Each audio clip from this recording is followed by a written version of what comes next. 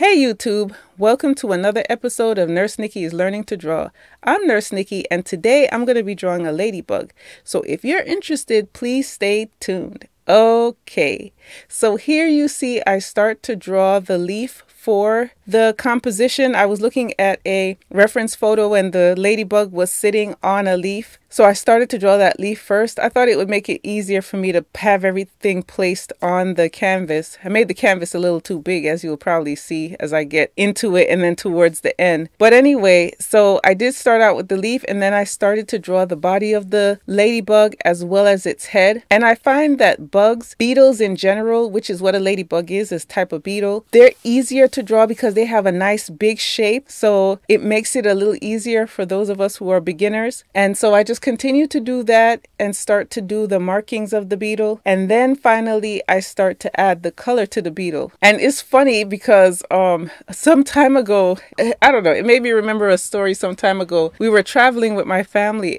And so, you know, when you're driving for long periods of time, you eventually get tired, right? So you need to stay at a hotel. So we stay at this, we stopped to stay at this hotel and we go into the lobby area and we notice that there's a lot of ladybugs around. And so I say to the guy at the desk, I said, Sir, do you notice that you have a lot of ladybugs around here just crawling all over the place? I'm sitting there trying to pay my credit card as the ladybugs are crawling by. And so he points to a sign that says that they're actually starting to grow some crops and they're using the ladybugs to kill off any pests. And I'm like, what? Because I'd never heard of this before. You know, I grew up in New York City. We don't we don't do that. At least I, I don't think anybody was doing that. But anyway, so he said, yes, ma'am, this is what they do at least once a year. And I'm like, okay, so basically I'm going to pay $120 to sleep in a hotel with ladybugs crawling all over me all night. That's crazy. Anyway, but we did stay there. It was cool. And um, as you can see here, I'm just kind of continuing on with the coloring process of the ladybug, just trying to learn how to use the brushes in Krita to get good coloring as well as texture on the ladybug. How do you guys think I did? I mean, this this was a this was a fun experiment to see how I could get it to be as realistic as possible. I thought it was pretty nice. I showed it to my husband and he said, "Isn't the ladybug supposed to be shinier?" Okay, John. Anyway, I enjoyed doing it and as you can see here, we're coming towards the end of the drawing. I really appreciate you spending your time with me. If you enjoyed this video, hit the like button, hit the